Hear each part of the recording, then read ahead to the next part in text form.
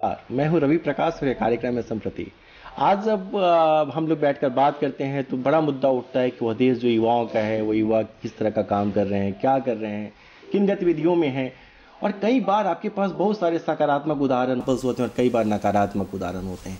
आज का युवा जो एक करोड़ रुपए के पैकेज पर काम करता है, वही युवा कभी ड्रग्स पीते हुए देखा जाता है। तो ऐसा लगता है कि कहीं ना कहीं कुछ कॉन्ट्राडिक्शन है, कहीं ना कहीं थोड़ा सा गैप है, उस गैप पर बातचीत की जानी चाहिए। तो हम लोग भी आज इसी विषय पर बात करना चाहते हैं कि जो युवा, जो कंस्ट्रक्टिव युवा हैं या जो जो जो यूथ हो रहे हैं किशोर वय अपनी उम्र से, उनमें सकारात्मक सोच का विकास कैसे, वो कंस्ट्रक्टिव कैसे हो? हालाँकि ज़माना बहुत बदला है। पहले ज़माने के लोग जहाँ पढ़ने के लिए टीचर और घर के लोग डंडा लेके घूमते रहते कि भाई पढ़ लो।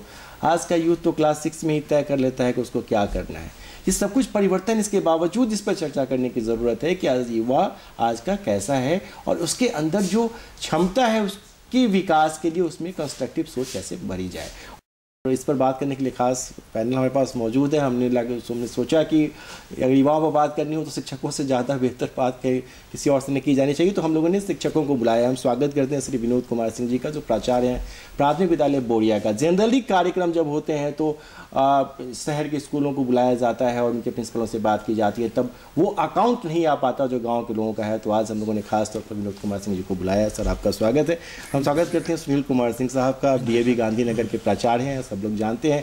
पहले भी दूरदर्शन के कार्यक्रम में और डॉक्टर मनोहर लाल को भी आप लोग जानते हैं, प्राचार्य हैं गुरु नानक स्कूल के, जो यहाँ का प्रतिष्ठित स्कूल है। आप तीनों ही लोगों का स्वागत है।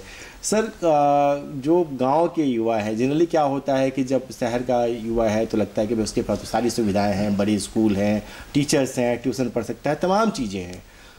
जो गाँव का आदमी होता है, उसके पास उतनी सुविधाएँ नहीं होती। तो गाँव के जो युवा हैं, वो कितने अलग हैं शहर के युवाओं से और उनमें अगर हमें कंस्ट्रक्टिव सोच, सकारात्मक सोच लाना हो तो कैसे ला जा सकते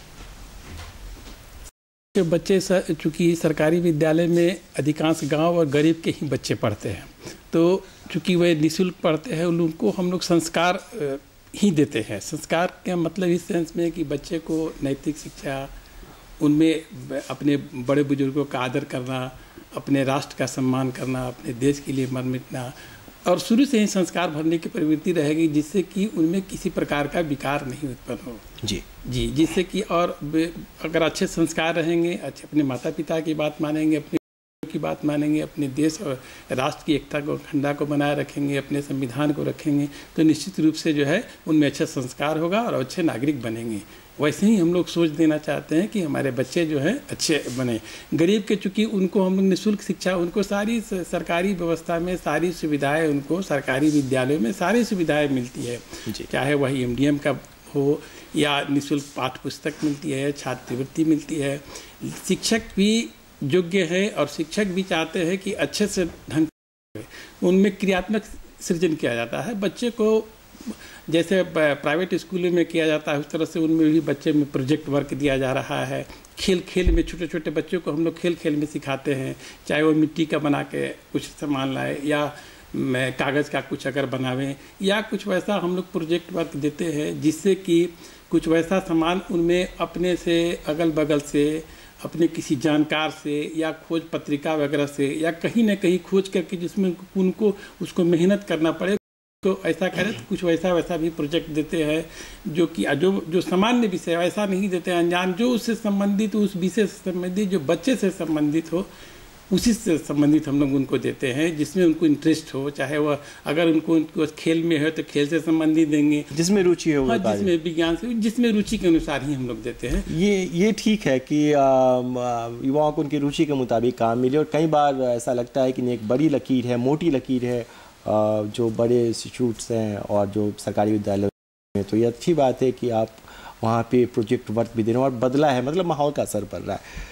सिन्हा साहब जो युवा है आज का जो कई तरह की बातें सोचता है बहुत दबाव भी होता है हम जैसे गार्जियंस का भी पेरेंट्स का भी और शिक्षकों का भी तो कैसे वो अपने को संयमित करे कैसे अपनी रूटीन बनाए कि वो आगे सक्सेसफुल हो पाए? देखिए आज की डेट में कंपटीशन बहुत है।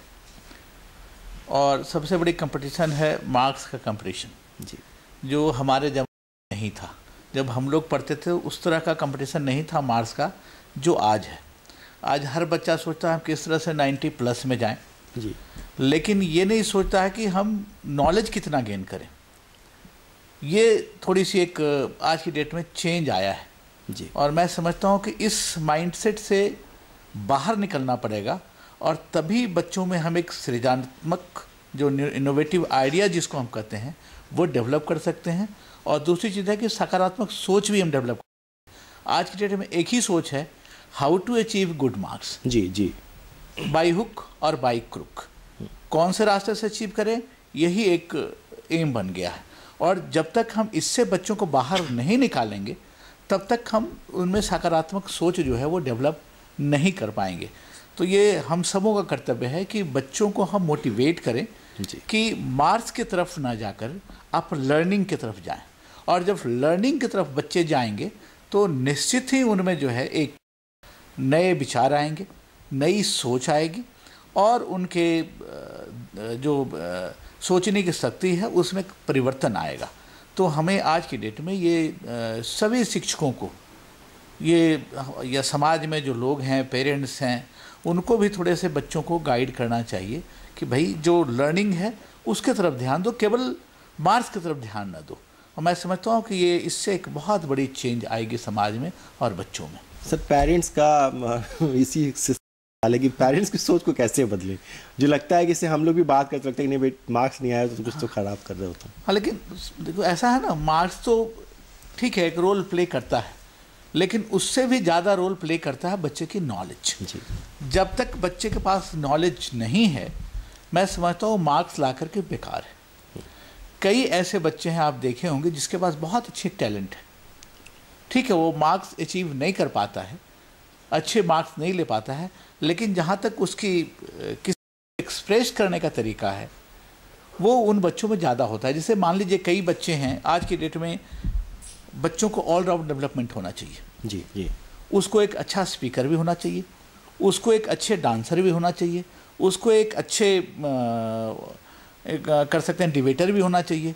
तो बच्चों के ऑल राउंड डेवलपमेंट करने के लिए यदि हम बच्चों को फोकस एक ही लाइन पर करेंगे कि अच्छे मार्क्स उठाओ तो मैं समझता हूँ कि बाकी जो पार्ट्स हैं बच्चों के वो डेवलप नहीं करेगा। और सबों का हमारा भी यही प्रयास होता है कि बच्चों को ऑल राउंड डेवलपमेंट हो। He should be a good speaker he should be a good debater और यदि ये सारे कला बच्चे में हैं तो वो ऑटोमेटिकली डेवलप करेगा। जी और कई बार हम खोलते हैं कि ये बच्चे डांस बेकार है वैसी समय का बर्बादी है। मैं समझता हूँ कि डांस जो बच्चे करते हैं मैं अभी दो दिन पहले ही स्कूल में था छोटे बच्चे डांस कर रहे थे। कुछ बच्चे की पैर जो है वो पूरी मूव कर रही है जैसे जैसे टीचर सिखा रही है। कुछ बच्चों के पाँव जो है मूव नहीं कर रहा क्योंकि वो कंसंट्रेट नहीं कर पा रहा है। तो डांस करने से भी बच्चों की जो है वो मेंटल एबिलिटी में एक डेवलपमेंट आता है फ़िज़िकल एबिलिटी में एक डेवलपमेंट आता है। तो हम हर चीज़ को ये ना सोचें कि वे बेकार है डांस बेकार है। उससे करने से कोई फ़ायदा नहीं। This also helps to develop the mental ability of the child जी जी। है। मतलब तो उनका चीज़ों को- ओवरऑल विकास हो। uh। नंबर पे ना जाए। नंबर पर ना कल मैं देख रहा था यूट्यूब पे आईआईटी दिल्ली के लड़कियों का dance come on come on I don't need dollars पे। और आप यकीन मानिए कि आप अ, रह जाएँगे, आपको लगेगा नहीं कि उस पर परफॉर्म करने वाले कलाकार जस्टिन बीबर की टीम के हैं या वाई टी दिल्ली की लड़कियाँ हैं, जिन्हें इंजीनियर बनना है आफ्टर ऑल बॉटम लाइन ये है। सर जो आप जिन बच्चों को पढ़ाते हैं, आप तीनों ही लोग जिन बच्चों को पढ़ाते हैं, वो उस उम्र के बच्चे हैं, जो आपके यहाँ बड़े होते हैं और जब जब वो युवा होने वाले होते हैं तो आपके यहाँ से सर्टिफिकेट लेकर निकलते हैं। कितना कठिन होता है ऐसे बच्चों को समझा पाना, उनमें वो संस्कार भर पाना, उनमें उस चरित्र का निर्माण कर पाना, जो इनोवेटिव आइडियाज़ के साथ आगे बढ़ेगा? आज के परिवेश में आप देखें पेरेंट्स की एक्सपेक्टेशन बच्चों से बहुत ज़्यादा हो गई है। जो वो अपने समय में नहीं कर सके वो बच्चों से उम्मीद करते हैं। ये बड़ी समस्या हाँ, है। ये बड़ी समस्या है। और तो बच्चा उसी सपने में रह जाता है उसकी अपना जो अपनी काबिलियत है वो छिप जाती है। बच्चा सूडो बन के रह जाता है कि हमें ये करना है वो करना है। और आज का समय आप देखेंगे बच्चों का मेन फोकस होता है पैकेज जो बच्चे आपने आईटी बात में कही उनका यही फोकस है कि आईटी में एडमिशन लेना और अच्छे पैकेज लेना मैंने एक अच्छा इंसान बनने की उसमें वो कमी हो जाती है वह चीज़ ये जो वैल्यूज़ बेस है जैसे सर हम लोग बात भी कर रहे थे ये बहुत एक आवश्यक है कि वैल्यू सिखाना। तो सबसे पहले आज का आज आज के समय में जो आवश्यक है कि हमारे पेरेंट्स की काउंसलिंग करना। ज़्यादा बच्चों से युवाओं से पहले बच्चों से ज़्यादा पहले पेरेंट्स की काउंसलिंग करना। कि उन्हें समझाना है कि कोई भी फ़ील्ड कोई भी क्षेत्र खराब नहीं है। हर क्षेत्र का अपना अलग महत्व है अलग इम्पोर्टेंस है। बच्चा किसी भी क्षेत्र में अपने को एक्सेल कर सकता है, कोई भी काम खराब नहीं उसके लिए है। उसे ये सिखाना है। और बच्चों में जो आजकल ये पैकेज की होड़ है, एक करोड़ का पैकेज दो करोड़ का, दो करोड़ पैकेज आज पेपर में आप देखते होंगे पैकेज है। बट अभी आपने देखा हो कुछ ऐसे बच्चे भी हैं, जो बड़ी बड़ी नौकरियाँ छोड़कर वापस कृषि में आ रहे हैं, छोटे कामों में आ रहे हैं, अपना स्टार्टअप कर रहे हैं वो। ये क्या है? ये उनकी जो मन की भावना थी, वो अंदर में उन्होंने बना तो दिया। पेरेंट्स से ज़बरदस्ती उन्होंने जैसे उन्होंने कहा मार्क्स मशीन नंबर ले आए। पेरेंट्स ने कहा आईटी निकालो। वो चले गए। बट उसके अंदर में जब अपने आप को देख रहा है कि मैं यहाँ नहीं कर पाऊँगा, संकुचित हो गया वो। वो जो सोच उसकी थी कि मैंने ये करना है, अब वापस पे लौट रहे हैं। ऐसे काफ़ी बच्चे हमने देखे हैं अभी, जो मैंने वहाँ से छोड़ के स्टार्टअप कृषि में कर रहे हैं, कोई मशरूम की खेती करें और अच्छा काम कर रहे हैं उसमें। कोई अच्छे बिज़नेस भी कर रहे हैं सो लौट के आ कर रहे हैं।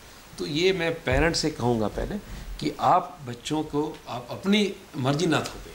हम्म। उनके भी बारे जा रहे और शिक्षक का तो काम ही होता है कि बच्चों में जो छुपी प्रतिभा उनको पहचानना। तो ये पेरेंट्स और शिक्षक दोनों मिल के बैठे और बच्चे में क्या गुण है क्या क्वालिटी उसको पहचाने और उसको उस तरफ़ बढ़ने के लिए अग्रसर करें। और अभी आप देखते होंगे ये डिस्ट्रैक्शन ही बच्चों का बहुत हो गया है। बहुत सारी चीज़ें नेगेटिविटी बहुत सारी हो गई है आपने भी देखा होगा बहुत सारे युवा ऐसे हैं जो इसमें मोबाइल के जो कंप्यूटर का जो गलत यूज़ कर रहे हैं। आपने भी सुना होगा झारखंड में बहुत सारे ऐसे हैं जहाँ जामतौड़ा जैसे बीच में आया था जगह की नाम थी वहाँ से बैठ के लोग कितने उसके लिए नेगेटिव थाट उनके पास आ गए। कम समय में कैसे ज़्यादा पैसा कमाया जाए? ये नेगेटिव थाट बच्चे में आ गया इसके लिए कि कितनी जल्दी हम लोग पैसा अर्न कर लें। ये एक बहुत जो नकारात्मक सोच बच्चों में बिना मेहनत किए। तो ये भी हमें सोचना है। तो पेरेंट्स की काउंसलिंग बहुत आवश्यक है मतलब पेरेंट्स की काउंसलिंग मनोहर लाल ने दो बहुत अच्छी बातें कही हैं जिन पर सोचने की। एक तो पेरेंट्स की काउंसलिंग इनफैक्ट मैं एक पेरेंट हूँ और मेरी काउंसलिंग भी ज़रूरी है इस इन मामलों में क्योंकि कई बार मुझे भी ऐसा लगता है कि मेरे बच्चे को तो दस सी आया तो और ज़्यादा अच्छा होना चाहिए और ज़्यादा अच्छा होना चाहिए तो और ज़्यादा अच्छा होने की सीमा नहीं है। तो हम लोग की काउंसलिंग भी ज़रूरी है जो पेरेंट्स इस प्रोग्राम को देख रहे हैं उनकी काउंसलिंग और दूसरा आपने ठीक कहा कि जल्दी पैसा कमाना। इस पर बहस करने की ज़रूरत है कमाने के लिए क्या कोई सकारात्मक तरीका है? एक बढ़ई अगर कारपेंटर का काम करके भी करोड़ों रुपया कमा सकता है और कोई मिठाई वाला इस शहर का सबसे बड़ा आदमी बन सकता है पैसे के मामले में तो क्यों नहीं हम आ, उन तरीकों को आजमाया जिन तरीकों से सही तरीके से पैसा कमाया जा सकता है? विनोद बाबू फिर से आपके पास आ, एक सवाल लेकर आते हैं। वो ये है कि जो गाँव है जहाँ के यहाँ तो ठीक है हम लोग जैसे पेरेंट्स हैं तो थोड़े समर्थ भी हैं और थोड़े थोड़ी जानकारी भी उनके पास में है। उनकी काउंसलिंग आप अलग तरीके से कर देंगे। गाँव के लोग जिन्होंने कभी पढ़ाई नहीं की किसी स्कूल में या अवसर नहीं मिला, वैसे अभिभावकों को कैसे आप समझाते हैं कि वो अपने बच्चों को इस तरीके से ग्रूम करें, इस तरीके से उनकी नर्सिंग करें कि वो आगे बढ़ के अच्छा करें? सर इसके लिए हम लोग विद्यालय में विद्यालय प्रबंधन समिति और शिक्षक अभिभावक की बैठक करते हैं जिसमें भी उनकी राय ली जाती है उनके बच्चे की राय ली जाती है। और बीच बीच में हमारे शिक्षक भी अगर कोई बच्चा अगर अनुपस्थित है तो वैसे उनके बारे में या किसी बारे में बच्चे में अगर है तो वहाँ भी जा करके बच्चे के काउंसलिंग करते हैं कि क्यों नहीं बच्चा आ रहा है। और विशेष करके कि अगर बच्चे पर हम लोग मेन मेन हमारा रहता है मोटिव कि बच्चे का जो भी रुचि है सर, जिस अगर उसकी उसकी जिस रुचि में, उसी की तरफ़ हम लोग कहते हैं कि आपने आने, अगर बच्चा गाने में है, उसको गाने की तरफ़ ही दीजिए। एक बार हम लोग सर, शनिवार के दिन इसी तरह का क्लास लेते हैं कि बच्चे का उसका चित्रांकन में है, खेल में है, जिसमें रुचि है, और गार्जियन को भी हम लोग अगर बैठक करते हैं, अभिभावकों के साथ। तो यह हम लोग बताते हैं कि बच्चे को शिक्षा ही सबसे बड़ा चीज़ है। शिक्षा अगर आप दे रहे हैं तो शिक्षा में तो चूँकि अब तो सभी सभी लोगों का ध्यान है और उसमें बच्चे की रुचि के अनुसार, अगर बच्चे जो पढ़ना चाहते हैं, अगर उसमें क्योंकि अगर आप चाहिएगा कि हमारा बच्चा इंजीनियर ही बने, डॉक्टर ही बने, अगर उसका बच्चा गाने का गायक बनना चाहता है, चित्रकार बनना चाहता है, खिलाड़ी बनना चाहता है तो उसी के रूप में, उसी के तरफ़ हम लोग चाहते हैं कि वो अच्छा खिलाड़ी ही बने। अगर चित्रकार ही बने, अगर जो जिस क्षेत्र में बसरते कि उसकी रुचि हम लोग पहले पहचानना चाहते हैं कि उसका किस तरह उसकी रुचि, और उसका जो जिधर झुकाव रहेगा, उसके तरफ़ ही अगर है तो क्योंकि अगर जिस तरफ़ उसका अगर झुकाव रहेगा तो उसके तरफ़ उसका मन लगेगा और तब करेगा। अगर हम लोग ज़बरदस्ती थोपेंगे कि नहीं, तुमको अगर डॉक्टर बनना है और उसका इंजीनियरिंग की तरफ़ ध्यान है तो बच्चा नहीं कर पाता है। उनकी रुचि के मुताबिक बच्चों हाँ, को एकदम उनकी रुचि के मुताबिक। ये ये ये भी बात ठीक है मैं आ, मतलब नाम नहीं लूँगा लेकिन यहाँ की एक सीनियर आई ने अपने बच्चे को इंजीनियरिंग में नामांकन का कराया कि भाई वो इंजीनियर बन जाएगा उस लड़की की रुचि नहीं थी। वो घर से भाग गया फिर बहुत मुश्किल घर पे लाया गया और वो रांची में रह पढ़ाई कर रहा है। ऐसे कई बड़े उदाहरण मिल जाएँगे वैसे घरों के जिनके जिनके माँ बाप अच्छे पदों पर हैं अच्छा पढ़ा लिखे हैं वो भी दबाव बना देते हैं। मैं भी स्वीकार करता हूँ एक पिता होने के नाते कि मैं भी कई बार बच्चों पर दबाव बनाता हूँ। ये सबके साथ समस्या है। आप खिलाड़ी की बात करें सर एम एस धोनी शहर के हैं महेंद्र सिंह धोनी। ये भी श्यामली के स्टूडेंट थे अब वो जवाहर विद्या मंदिर बन गया है। अगर महेंद्र सिंह धोनी ने भी आ, वो पढ़ने में ज़्यादा ध्यान लगाया होता या ये वो टीसी बन के रह गए होते खड़गपुर में तो वो भारतीय टीम के कप्तान नहीं बन पाते। ये सर ये कैसे कन्विंस किया जाए पेरेंट्स को कैसे कन्विंस किया जाए सोसाइटी को कि वो वही करने दे बच्चों को जो करना चाहता है? देखिए आज की डेट में जो है वो थोड़े चेंजेज आए हैं। पेरेंट्स पहले जैसे रिजिड नहीं है कि केवल पढ़ाई ही एक क्षेत्र है। आज की डेट में पेरेंट्स के भी इसमें चेंज आया है कि बच्चा किसी फ़ील्ड में आगे कर सकता है।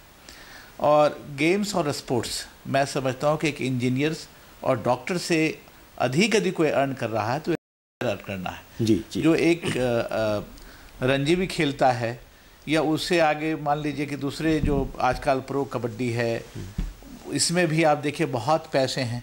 तो आज की डेट में माइंडसेट बदल गया। अभी कुछ दिन पहले मैं बताता हूँ कि मेरे यहाँ छोटे छोटे बच्चे कबड्डी के। और सभी पेरेंट्स ये स्टार स्पोर्ट्स ने करवाया था। और रांची में करवाया था तो हमारे बच्चे रांची में इसमें जीते थे। और जितने बच्चे थे तेरह बच्चे उसके पेरेंट्स तीन चार टीचर सबको स्टार स्पोर्ट्स जो है बाई एयर जो है बॉम्बे ले गए। जी। खेलने के लिए। और वहाँ होटल ठहराया और सब पेरेंट्स साथ गए। बॉम्बे पेरेंट्स भी साथ गए? जी बॉम्बे पेरेंट्स गए और अपने अपने बच्चे के साथ वहाँ रहे और अपने अपने बच्चे को इनक्रेज किया खेलने के लिए। तो एक बहुत बड़ी चेंज जो है वो अब देखने को आ रहा है तो पहले जैसा नहीं रहा कि पहले पेरेंट्स सोचता कि भाई ये खेल से तो हमारा बच्चा खराब ही हो जाएगा। वो अब नहीं है और थोड़े धीरे से अब बच्चे जो है खेल की तरफ़ भी निकल रहे हैं।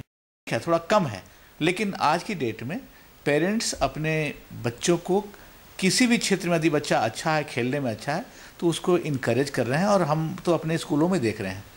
छोटे छोटे बच्चे हैं और कबड्डी में पेरेंट्स यदि यहाँ से बॉम्बे तक जाएँ मदर साथ में जाए मैं समझता हूँ इससे बड़ी चेंज नहीं आ सकती। इससे बड़ा चेंज नहीं। ये ठीक है।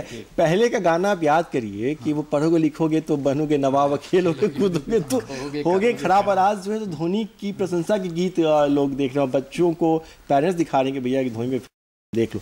सर जो माइंडसेट का मामला आता है जहाँ पे लगता है कि नहीं ठीक है ये इसके हुनर से भी रोज़गार मिल सकता है या इसको पढ़ाया ही जाना चाहिए और वो युवा काफ़ी प्रेशर में रहता है वो वो बच्चा जो युवा होने वाला है। क्या टिप्स देंगे आप एज ए टीचर और क्योंकि आपने वो उम्र भी आपने अपनी उम्र भी युवा वाली देखी और आप आज भी देख रहे हैं कि आज के ज़माने के लिए क्या टिप्स होने चाहिए युवाओं को सक्सेसफुल एक मैं पहले हम लोग चर्चा चल रही थी मैं जरा बात जोड़ना चाहूँगा। जी। कि अभी बात करें डॉक्टर इंजीनियर और प्लेयर की ठीक है? मोस्टली पेरेंट्स भी उसी में उसी में involve। रहते हैं। बट उसके अलावा इतने काम हैं जो आजकल पूरे देश में स्किल युवाओं की बहुत कमी है। जी। आप उसमें बहुत सारे देखिए छोटे टेक्नीशियंस हैं प्लम्बर्स हैं ड्राइवर्स हैं इलेक्ट्रिशियन है कोई काम खराब नहीं है। मैं एक बार क्रेन ड्राइवर वाले से बात कर रहा था उसकी सैलरी कहता सेवेंटी थाउज़ेंड चल रही है। बोलते हैं मुझे क्रेन ड्राइवर मिलते ही नहीं है। तो ये चीज़ अगर मैं पेरेंट्स कहूँ कि आपके बच्चे को मैं क्रेन ड्राइवर बनाऊँगा तो पेरेंट्स बोलेगा मैं क्यों भेजूँगा बच्चों को? प्लम्बर बनाऊँ क्यों भेज अब या तो मुझे पहले समझाना पड़ेगा पेरेंट का माइंड सेट कि कोई काम छोटा बड़ा नहीं है हर काम बराबर है। उसको डिग्निटी डिग्निफाई से काम को करना है। हर एक में आपको अपने लाइवलीहुड के लिए आप कमा सकते हैं। हर एक काम आपको अब अब मैं पेरेंट्स को कहूँगा कि आप इस काम के लिए बच्चों को भेजें ये काम स्किल लेबर जिसने कहा कि गवर्नमेंट भी कह रही है कि स्कूल में वोकेशनल कोर्स चलाए जाए। हाँ क्योंकि है ही नहीं। बच्चों में एक मतलब माइंड सेट चेंज हो बच्चे जो नेगेटिव थॉट है वो अपने कंस्ट्रक्टिव में ले आए। हो सकता है उनको इलेक्ट मशीन जैसे आप मोबाइल का है। मोबाइल बनाने में मोबाइल तुरंत बना सकता है सीख सकता है वो। उसका अपने भी जो आगे आगे अपने से एक्सपोज कर सकता है वो। हम हर एक काम बड़े बड़े काम ना देख के छोटे काम से ही बच्चों को इनिशिएट कर सकते हैं। उसमें लगा सकते हैं। पढ़ाई के अलावा साथ में वो काम लगाएँगे हो सकता है उसमें रुचि हो जाए। जी जी। हो सकता है उस फ़ील्ड में अपने आगे कर लो सीधा आगे बढ़ जाए। बहुत सारे ऐसे आपने एक उदाहरण सुने होंगे जो छोटे तब से काम शुरू किया और आगे तक पहुँच गया। स्टार्टअप इसीलिए भारत सरकार ने शुरू किया हाँ। योजना। और उसमें अगर आपकी स्किल है आपकी क्षमता आप कर सकते हैं आपके है बट उसी को वो निखारना है। तो बीइंग हम लोग सूर्य शिक्षक हैं हम लोग तो ही कि एक बच्चे को हम लोग अच्छी तरह से बड़े शेप दे बच्चा तो अनशेप बच्चा मिलता है हमें उसको अच्छी तरह शेप दे के बच्चा को खड़ा करें और पेरेंट्स के साथ सहयोग भी चाहिए होगा समाज का भी सहयोग चाहिए होगा हमें कि सब मिलके एक माइंड सेट तैयार करें बच्चों को कि हम हर काम बच्चे के लिए बराबर है। सिर्फ़ डॉक्टर इंजीनियर प्लेयर ही बच्चों और आगे से नहीं बनना है। बहुत कुछ सर टिप्स ये आप तीनों लोगों से है आप तीनों लोग करके इसका जवाब दे सकते हैं। आज के युवाओं के लिए कुछ अच्छे क्योंकि फार्मूला वाला जमाना है तो क्या टिप्स हैं कि सक्सेसफुल जिसमें उनमें रुचि हो उस पर पढ़े।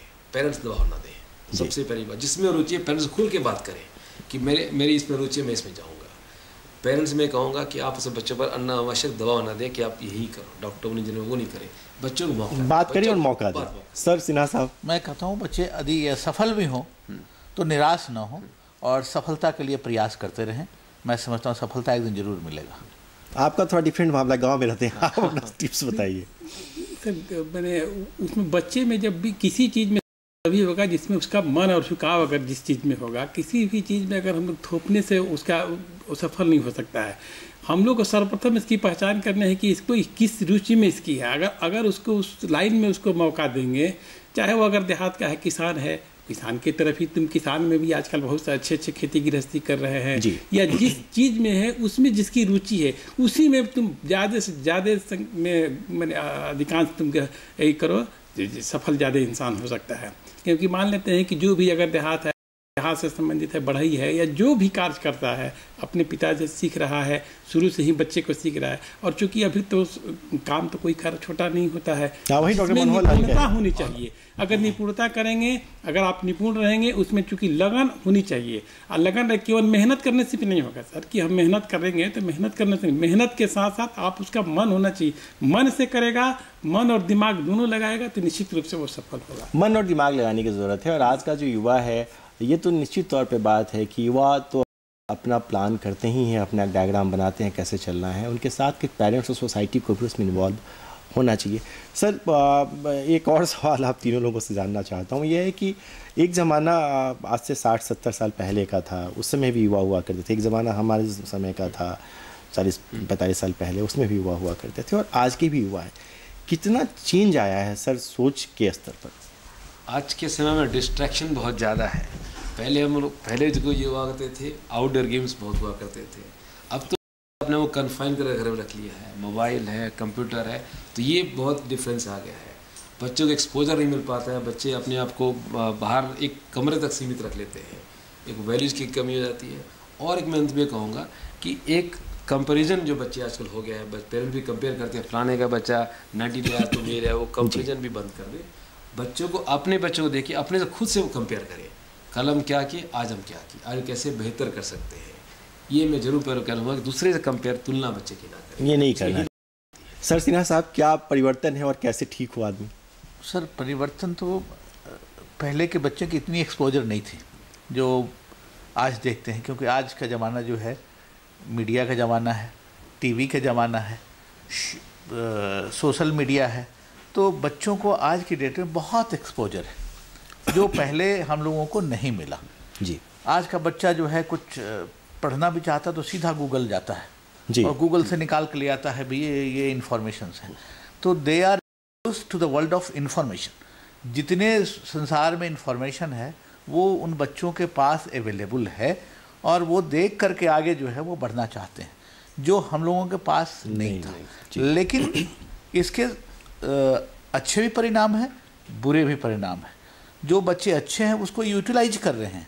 सही ढंग में उसे ले रहे हैं। लेकिन जो बच्चे अच्छे नहीं हैं वो इसको मतलब गलत डायरेक्शन में ले जा रहे हैं।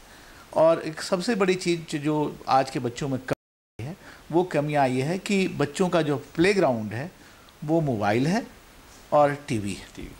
वो प्ले ग्राउंड में जाकर अपना पसीना नहीं बहा रहे हैं और इससे उनका फ़िज़िकल ग्रोथ जो है मैं वो समझता रुक हूँ गया कहीं ना कहीं रुक रहा है क्योंकि physically they are not so strong हम लोग आए हैं शायद सर भी हैं गाँव से आए हुए हैं और आज भी जो गाँव के बच्चे हैं दे आर स्ट्रॉन्गर दैन चलिए मैं कई बार बच्चों कहता हूँ कि ये ब्रेड बटर के जनरेशन और वो पहले वाले सत्तू रोटी वाले जनरेशन के ये फ़र्क आया है। जी ये फ़र्क तो अब हम और भी आपसे भी सवाल लेते हैं लेकिन इस कार्यक्रम का वक्त खत्म हो गया है तो आप तीनों ही लोगों का बहुत बहुत धन्यवाद और मुझे बड़ी उम्मीद है कि जिन बच्चों ने इस कार्यक्रम को देखा होगा जो यूथ देख रहा होगा आप अपने हिसाब से अपने आप को प्लान कर लीजिए इससे जो अच्छी बातें हैं उसको रख लीजिए और जिन पेरेंट्स ने इसको देखा है जो अभिभावक हैं जो इस कार्यक्रम को देख रहे थे वो अपने हिसाब से डायग्राम कर लें कि बच्चों से उनका डायलॉग किस तरीके का होना है। और हम लोग फिर आगे भी ऐसी ही बातचीत करेंगे। मुझे फ़िलहाल इस कार्यक्रम को ज़ीरो रोकने की इजाज़त, इस वादे के साथ कि अगले सप्ताह, इसी वक्त आपसे फिर मुलाकात होगी। नमस्कार। धन्यवाद।